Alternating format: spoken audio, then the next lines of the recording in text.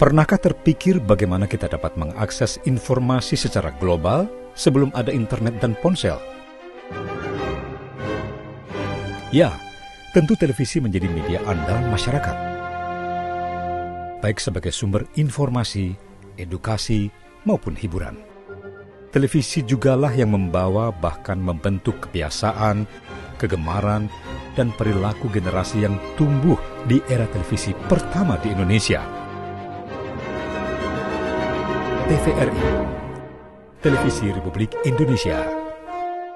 Tentu ini menjadi menarik untuk kita cari tahu bagaimana perjalanan Indonesia membangun stasiun televisi pertamanya.